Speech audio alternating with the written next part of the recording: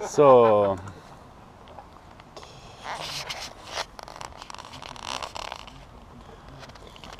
Guten Morgen. Also Guten Morgen. Käse. Wir haben ein kleines Frühstück Baguette, Baguette. und inzwischen brauchen wir zwei Beistelltische.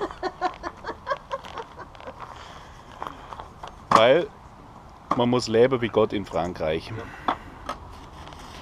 Bis später.